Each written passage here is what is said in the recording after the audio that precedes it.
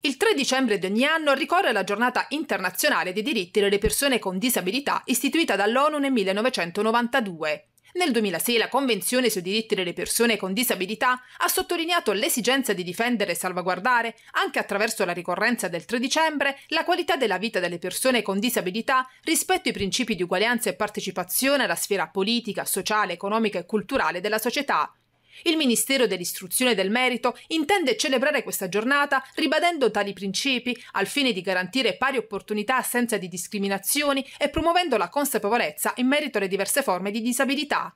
Un esempio viene da Taranto. Nei giorni scorsi al live con Nicola Pastore, il presidente dell'Associazione Persone Down di Taranto ha ribadito i percorsi portati avanti per un'azione di forte inclusività e consapevolezza.